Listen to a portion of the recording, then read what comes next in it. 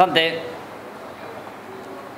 one more day we are here and I have to tell you the same. Not too much time for preparations, just one training and a half, would say. But uh, we need to keep the positive energy, we need to keep the good playing style, uh, we need to continue giving some joy to the fans. So uh, we are trying to recover and to be ready for tomorrow's match.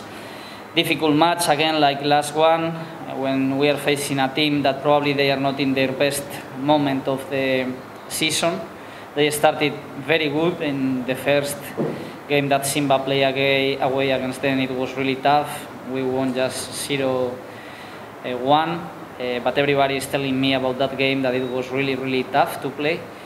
Now the circumstances of both teams have changed, uh, especially for them because they have a new coach. So again, we are playing tomorrow against not only a team, but the uncertainty of not knowing what we are going to, to find in the field. But anyway, with the resources we have, with the experience we have acquired in these three months, uh, we are ready to, to play different circumstances and we will see if our energy is enough to, to play as long as possible tomorrow.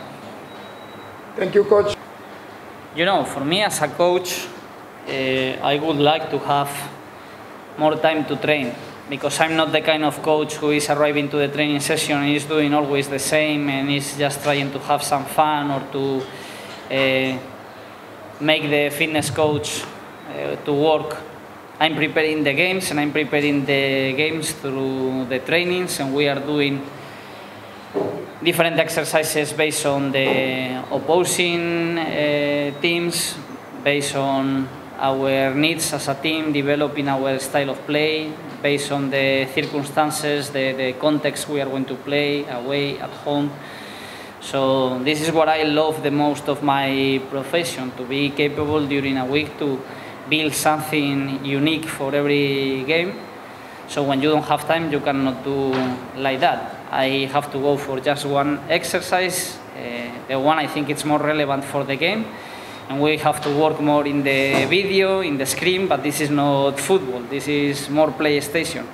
And when you are planning in the video, not always uh, you can develop that plan in the field. So for me as a coach, uh, of course, it's effective. Uh, the good thing is that now we are in a, a good uh, shape, at least mentally, and people are confident. We are recovering also some players.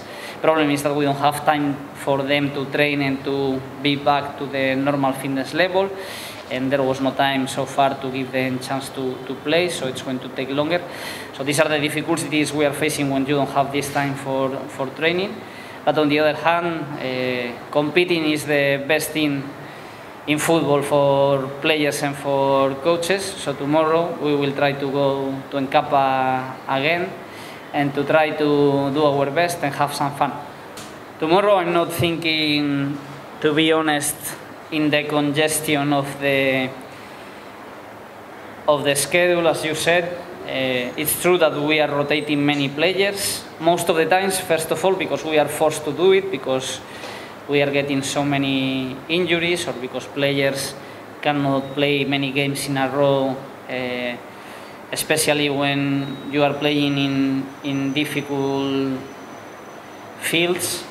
But now the circumstances are different.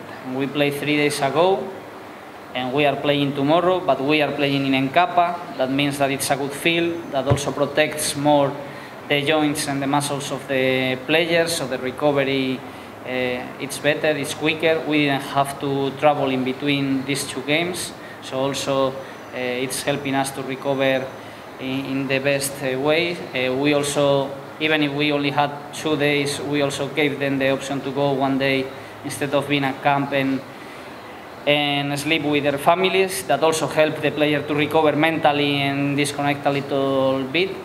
So for tomorrow, I'm not thinking of rotations. The players we are going to change, it's because uh, we need to change them. or because I think that maybe another player is going to fit more in the game plan I have for tomorrow. But I'm not thinking about about rotation. I'm thinking just of playing the best players uh, for tomorrow's game because, as you said, it's going to be a tough game. Uh, you know, they are going to change things because of the new coach. But as you said, there are things that you can never change in a team, and this is about the spirit, the personality uh, of each player. And you can see that they are an aggressive team with aggressive players in all duels who chase uh, all players.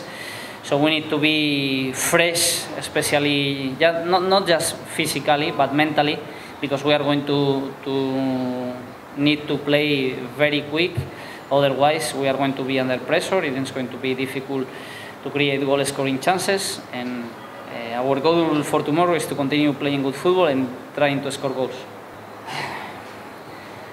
You are always asking me the difficult questions. Eh? I'm not good with mathematics.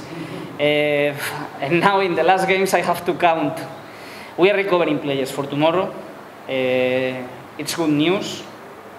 But as I said at the beginning of the press conference, the problem is that these players who are capable to start doing trainings with the team are not playing some of them for a long time and they don't have any uh, experience in official matches for a long time.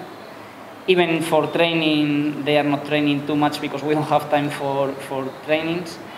But tomorrow in the, on the 20 list, uh, I think I cannot tell you 100% sure right now because it's not uh, close already and we have to deliver the news first to the players but you are going to see new faces faces of players who are not in the squad for a long time and who are going to come back with us. What I can tell you for sure is that from last game we are missing just uh, Kapombe, nothing serious, but uh, sometimes when you are receiving like a kick in the head, uh, there are things more important than football and this is a matter of of health and we don't want to take any risk with him. He went to the hospital, they scanned him, everything is okay.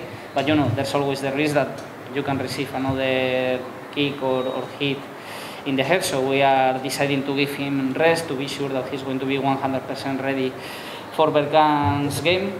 And the other players, just Chris Mugalu still has uh, the discomfort in the hand and medically he's not available to play with, with contact. But the other players, you can think that maybe tomorrow some of them uh, will be again back with the team. Thank you, coach. Thank you. Mchezo mwema. Uh, many people today in the church, eh?